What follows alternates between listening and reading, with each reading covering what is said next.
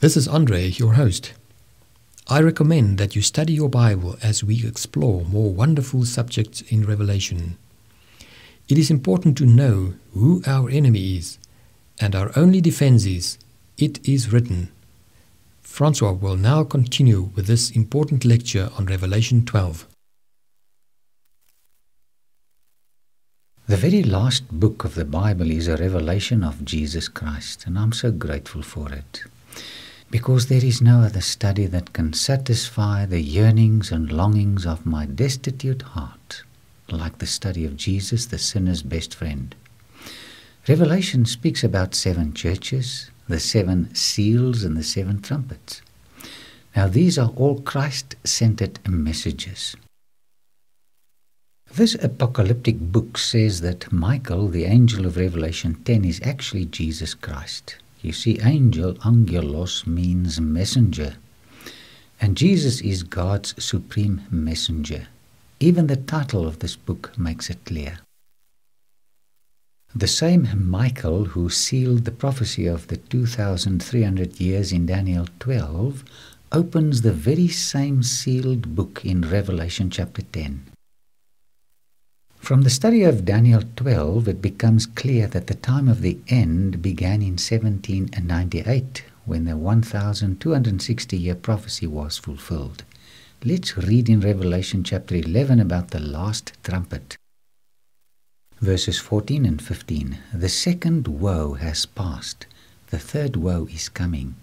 The seventh angel sounded his trumpet, and there were loud voices in heaven which said, The kingdom of the world has become the kingdom of our Lord and of his Christ, and he will reign for ever and ever. The seventh trumpet began in 1844 and will culminate in the second coming of Christ. Jesus entered the most holy place in heaven in 1844 to conclude the last phase of the plan of salvation. Let's read from verse 19 how John describes the beginning of the seventh trumpet. Then God's temple in heaven was opened, and within his temple was seen the ark of his covenant. And there came flashes of lightning, rumblings, peals of thunder, and an earthquake and a great hailstorm. What do you think is this Ark of the Covenant? The tabernacle consisted of two apartments, the Holy and the Most Holy. In the first apartment, the priests officiated daily throughout the year.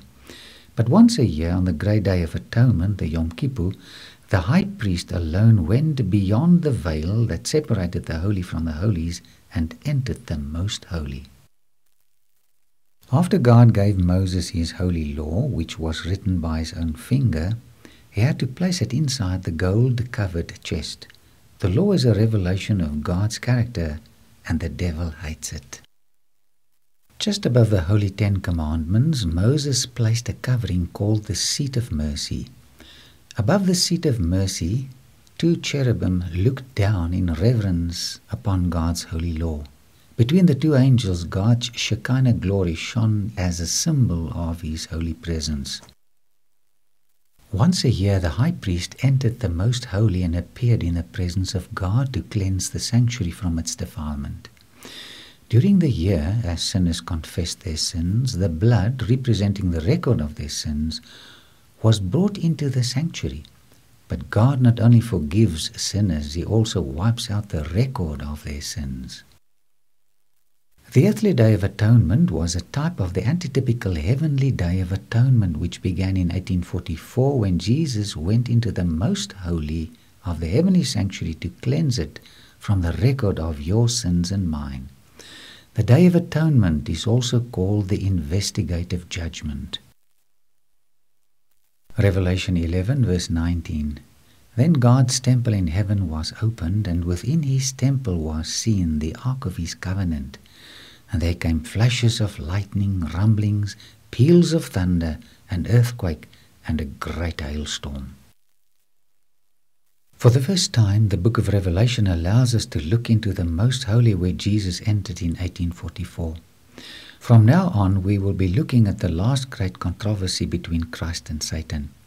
And we will also be looking at the law of God, which will be the great issue in the final controversy. Revelation chapter 12, verse 1. A great and wondrous sign appeared in heaven. A woman clothed with the sun, with a moon under her feet, and a crown of twelve stars on her head. Now, before we continue with our study, we must find out who is represented by the woman with the sun, moon, and stars. Isaiah 62, verse 5 explains As a bridegroom rejoices over his bride, so will God rejoice over you. You're looking at some broken pottery from Corinth. Paul wrote a letter to this church calling it the bride of Christ. 2 Corinthians 11, verse 2 I'm jealous for you with a godly jealousy. I promised you to one husband, to Christ, so that I might present you as a pure virgin to him. What a beautiful symbol of the Church of Christ. She has not committed fornication with the world. Her doctrines are pure. The sun, moon, and stars represent the light of heaven that illuminates her. But in contrast with the pure woman, the true church, we also have a picture of the harlot, the apostate church in Revelation 17. She sits on a scarlet colored beast with seven heads and ten horns. More about her in a later series. Revelation chapter 12, verses 1 and 2. A great and wondrous sign appeared in heaven a woman clothed with the sun, with the moon under her feet, and a crown of twelve stars on her head. She was pregnant and cried out in pain as she was about to give birth. Verse 5 She gave birth to a son, a male child, who will rule all the nations with an iron scepter, and a child was snatched up to God and to his throne. Who do you think this child is? I think it's Christ. But let's ask the Bible to give us the correct answer. Psalms chapter 2, verses 7 to 9 says, I will proclaim the decree of the Lord. He said to me, You are my son. Today I have become your father. Ask of me, and I will make the nations your inheritance, the ends of the earth your possession. You will rule them with an iron scepter. You will dash them to pieces like pottery. The man child of Revelation chapter 12 is none other than Christ. You know, every time I visit the Church of the Nativity in Bethlehem, I thank God for this marvelous gift of His Son. The gift of Christ is especially for you and me. Isaiah 9 verse 6 says, For unto us a child is born, to us a son is given, and the government will be on his shoulders. And he will be called Wonderful Counselor, Mighty God, Everlasting Father, Prince of Peace. If you have not yet made him your wonderful counselor, I would strongly encourage you to do so. He is an honest counselor who will lead you to life eternal. Revelation 12:5 says that the child, that is Jesus, was snatched up to God and his throne. Is there another verse of scripture telling us that Christ was to be taken up into heaven? Yes, there is. Ephesians chapter 1 verse 20 which he exerted in Christ when he raised him from the dead and seated him at his right hand in the heavenly realms. What is he doing in heaven? He intercedes for you and me. In Jesus the Son, we only have good news. He is the best qualified advocate in the universe. He has never lost a single case. And you are invited to bring your hopeless case to him, and he will successfully intercede for you. Let's continue reading about this amazing drama in verse 3 of Revelation 12. It says, Then another sign appeared in heaven, an enormous red dragon with seven heads and ten horns and seven crowns on his heads. What a horrifying sight! This dragon does not look too friendly, too easy. Verse 4 says, His tail swept a third of the stars out of the sky and flung them to the earth. The dragon stood in front of the woman who was about to give birth so that he might devour her child the moment it was born. We have to find out from Scripture who this great red dragon represents. Would you like to take a guess? It looks like the devil. Revelation 12:9 says, "This great dragon represents Satan, have you noticed that he is always around? He is always causing problems. And the devil always works through human instrumentalities. When Jesus, the man child, was born, he persecuted him through pagan Rome. Can you still remember how many horns were on the fourth beast in Daniel's vision? Ten. And who did this fourth beast represent? Pagan Rome, of course. And the ten horns that divided Europe. But the book of Revelation is more than just a book of horns and beasts. It is one of the greatest masterpieces of poetry and prophecy in existence. The beast that John sees in vision reminds us of the fourth beast of Daniel chapter 7, the Roman Empire, who also had ten horns on his head. But where does the devil come from? Did God create him? Is he a real creature? John takes us back in time and tells us about an actual war that broke out in heaven. Revelation chapter 12, verses 7 to 9 says, And there was war in heaven. Michael and his angels fought against the dragon, and the dragon and his angels fought back. But he was not strong enough, and they lost their place in heaven. Verse 9 The great dragon was hurled down, that ancient serpent called the devil or Satan, who leads the whole world astray. He was hurled to the earth, and his angels with him. I wonder how many other planets did Satan and his angels visit to tempt before coming to our world. When Adam and Eve disobeyed God's law, they became subjects of Satan. 2 Corinthians chapter 4 verse 4 says he became the god of this world. 4000 years later Jesus, like Satan, also came down to this planet, not to destroy people like the devil did, but to save them. And on the cross of Calvary, Jesus bought back what Adam and Eve lost. On Calvary, Christ defeated Satan. This is good news. While John was thinking of this mighty victory, he heard something very important. Verse 10 Then I heard a loud voice in heaven say, Now have come the salvation and the power of the kingdom of our God, and the authority of Christ. For the accuser of our brothers, who accuses them before God day and night, has been hurled down. Satan was hurled down or defeated twice, initially from his encounter with Michael or Jesus in heaven, and then again when Christ died on Calvary. What a sad story. If you decide to listen to Satan's voice, you choose a loser. He is a loser twice over. But when you choose to obey Christ, you are more than a conqueror. Satan lost the battle against Christ, but who do you think he is attacking right now? Verse 12 says, Therefore rejoice, you heavens, and you who dwell in them. But woe to the earth and the sea, because the devil has gone down to you. He is filled with fury because he knows that his time is short. His time is short, and our lifespan is infinitely shorter. He wants to destroy us while we are still alive. How can weak mortal sinners like you and me gain the victory over the devil? Verse 11 They overcame him by the blood of the Lamb and by the word of their testimony. They did not love their lives so much as to shrink from death.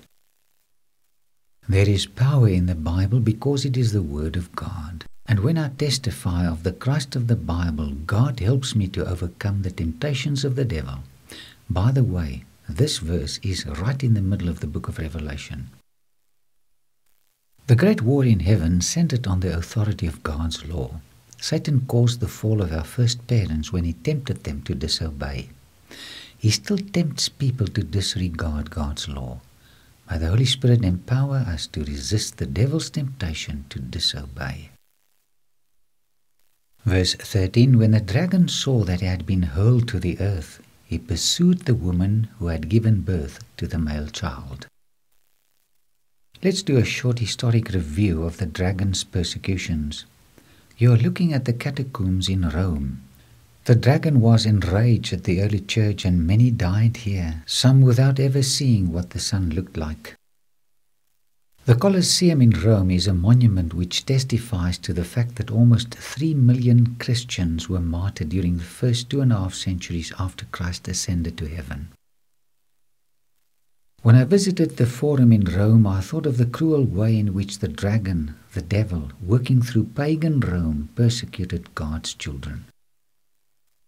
I continued walking through the ruins of the Forum, thinking of how Emperor Constantine effected a compromise between pagan Rome and the Christian Church, causing a fall. This arch near the Colosseum is built to commemorate the work of Emperor Constantine. Historians tell us that he was responsible for bringing many heathen practices into the church. Let's quote from Harry Boer's book, A Short History of the Early Church, to see what happened when the church and state united. The multiplication of holy days, the veneration of saints, martyrs, and relics, and the value attached to pilgrimages and holy places often pushed truly spiritual concerns into the background. This comes from page 42. Foakes Jackson, in his book History of the Christian Church, page 286, describes the aims of Constantine. He says, in dealing with the church, his object was gradually to transfer to Christianity from heathenism all that had hitherto made it attractive in the eyes of the people. Something shocking happened to this pure church. The dragon contaminated her with his heresies. She must act immediately what advice can you give her? Do you think she should flee from him? Yes. Verse 6 The woman fled into the desert to a place prepared for her by her God, where she might be taken care of 1,260 days. Where else have you read about this period? In Daniel 7, we read about the work of the little horn who changed God's law and persecuted the saints for 1,260 days, which is, of course, 1,260 literal years. Who is this little horn? Papal Rome, as we've discovered. So, who is now persecuting who in the prophecy of the woman of Revelation 12? The church that compromised with heathenism became the persecutor pagan Rome was replaced by papal Rome. The German historian Heggtveit describes the compromise in these words. Constantine labored at this time untiringly to unite the worshippers of the old and the new faith in one religion. All his laws and contrivances are aimed at promoting this amalgamation of religions he would by all means melt together a purified heathenism and a moderate Christianity. The prophecy of the woman clothed with the sun, moon, and stars is an amazing prophecy. It deals in a masterly manner with a long time prophecy of 1260 years. Verse 6 The woman fled into the desert to a place prepared for her by God, where she might be taken care of for 1,260 days. Verse 14 The woman was given two wings of a great eagle that she might fly to the place prepared for her in the desert, where she would be taken care of for a time, times, and half a time out of the serpent's reach. In our previous studies, we discovered that a day in a prophetic context stands for one literal year. We saw this in Ezekiel 4 verse 6 as well as Numbers 14 verse 34. Verse 6 says that the earth helped the woman. You're looking at the Piedmont valleys in northern Italy. The woman fled to these solitary places in the Alps in order to escape the persecution of the dragon. Thousands upon thousands of Waldensians fled here, and hundreds of thousands of them were martyred in these valleys. I visited this specific valley called Angrogna, meaning the Valley of the Groans in northern Italy. Why is it called the Valley of Groans? Because of the unnumbered groans of martyrs who died here. Near the Waldensian town of Torre Pellice, I visited some of their churches. The water that the dragon sent after this church in the wilderness was not only persecuting soldiers and papists, but also false doctrine. I'm quoting again from the German historian Heggtveit. In his statement, he refers to Constantine's institution of Sunday as a day of rest in AD 321. His injunction that the day of the sun should be a general rest day was characteristic of his standpoint. Of all his blending and melting together of Christianity and heathenism, none is more easy to see through than this making of his Sunday law. The Christians worshipped their Christ, the heathen their sun god. According to the opinion of the emperor, the objects for worship in both religions were essentially the same. At the entrance to this Waldensian church, I read the words from John 17, verse 3. Now, this is eternal life, that they may know you, the only true God, and Jesus Christ, whom you have sent. When Constantine changed the Sabbath to Sunday, the pure church apostatized and began worshipping on this new popular heathen day of worship. Those Christians who did not go along with the worshipping of the new man made day were persecuted and they fled to these secluded mountain fortresses. The persecutions of the Waldenses in these valleys are a fulfillment of Bible prophecy. Let us listen to one more quote from Harry Boer's book, A Short History of the Early Church, page 143. He, that is Constantine, designated Sunday by its traditional pagan name, the day of the sun, not the Sabbath or the day of the Lord. Pagans could therefore accept it. Christians gave the natural sun a new meaning by thinking of Christ as the Sun of Righteousness. Both Constantine and later emperors, as well as the church councils, enacted additional Sunday legislation.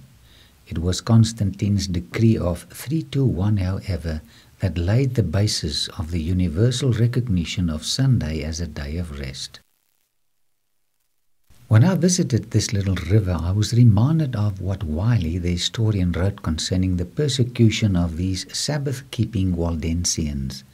He says that at times these little rivers turned red because of the many Waldensians who were slaughtered higher up.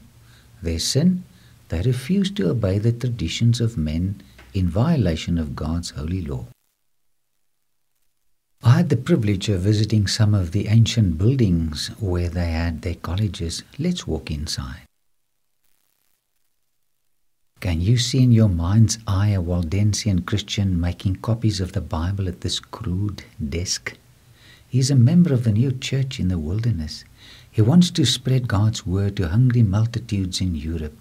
The dragon, through papal Rome, persecuted the church for 1,260 years. I had very good reasons for asking this modern Waldensian lady to stand at this specific place. She is standing in front of an ancient oven where her forefathers were burned alive. As the floor was beginning to warm up, they had the choice of being released from this burning furnace, but on one condition they had to renounce their faith in the Bible and accept the traditions of the Roman Catholic Church. They did not ask to be freed. When this cruel cremation was all over, their ashes were removed from this very oven. The ground of Pra del Torno is holy ground because of shed blood of men and women who were prepared to die for their faith in God. When I left these valleys, I asked God to make me like the martyrs who died here. I asked Him to help me to love Him so dearly that He will mean more to me than life. This is a very, very sad prophecy. God's true apostolic church only lasted about 300 years, but His plan was not totally thwarted. Throughout this world's history, there were always people who were willing to follow God unconditionally. The Church of the Wilderness now made its appearance, but they too disappointed God, and now John receives a vision of the last church on earth. Verse 17 And the dragon was enraged with the woman, and he went to make war with the rest of her offspring who keep the commandments of God and have the testimony of Jesus Christ. At the end of the 1260 year prophecy, that's 1798, Revelation predicted the rise of God's last day movement as they would engage in the battle against the dragon. John has good news for us. This time, God's church is going to triumph. Please don't miss the next lecture. It's a vivid description of this end time battle between the remnant and the great religious apostate church. In chapter 13, we are going to look at the strategy of the devil in this last war. You must know who this beast is what his image is and what his mark is. A second beast emerging from the dry land is going to support the first beast in his war against God's people. You must also know who this beast is. In Revelation 16, we are going to study about the sixth plague called Armageddon, and in chapter 17, we will study the outcome of this great battle between Christ and his followers and the devil and his followers. Let's do a quick review. First of all, we looked at the persecution of Christ by Satan through pagan Rome. Then we saw how he persecuted the early church through pagan Rome. Next followed the persecution of the church by papal Rome. Finally, the dragon went out to make war with the remnant of his seed. The remnant, as the name indicates, is the last church in these days. God's remnant church can also be identified by three characteristics in Revelation 14:12 besides those in 12:17. Revelation 14:12 says, "This calls for patient endurance on the part of the saints who obey God's commandments and remain faithful to Jesus." God's remnant upholds the holy law of God as the great mirror which reveals sins. And they will tell people that once they are convicted of their sins, they should go to Calvary for cleansing. There is no other way by which the sinner can be cleansed from guilt and sin. The remnant preaches a correct relationship between law and gospel. John Wesley explains this concept of the law and the gospel very simply. He says that the law sends us to Christ for cleansing, and once we are cleansed, Christ sends us back to the law to make it our standard of living. The remnant will obey all the commandments of God, including the Sabbath, which is the sign of God's creatorship. And then a last very important characteristic of the remnant. Verse 17 says they have the testimony of Jesus. In Revelation 19:10 we read that the testimony of Jesus is the spirit of prophecy. What is prophecy? The word describes any inspired message communicated by God through a prophet.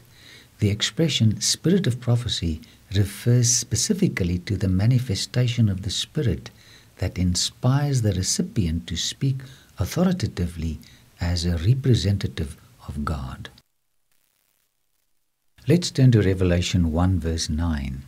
I, John, was on the island of Patmos because of the Word of God and the testimony of Jesus. When John referred to the Word of God, to what did he refer? He referred to the Old Testament, and when he referred to the testimony of Jesus, which is the spirit of prophecy, to what did he refer? He was referring to the New Testament, which the apostles were still in the process of writing under the inspiration of the Holy Spirit. And when John spoke about the testimony of Jesus, he was also referring to the book of Revelation, which was about to be written under the inspiration of the Holy Spirit as well. And now for a startling statement concerning the remnant which will appear after 1798. Verse 17 says that they too will have this gift of prophecy in their midst. This will be one of the identifying marks of the last church on earth. This is such an important subject that we will devote an entire lecture to explore this wonderful truth. I have visited the replica of the woman of Revelation 12 quite a few times in Franschhoek. And every time I look at the Bible in her hand, I ask God to help me to hold on to His precious word. And every time I see the broken chain in her hand, I ask God to help me to break every chain of tradition that is in conflict with His law. Thank you, Francois, for this very interesting lecture. Let us pray now. Gracious Heavenly Father, thank you for the wonderful lessons we can learn from the book of Revelation. Help us to daily study your word and to fortify ourselves with the word of God. In Jesus' name, Amen. In the next lecture, Francois will unlock Revelation chapter 13. This is a very important chapter, so don't miss out.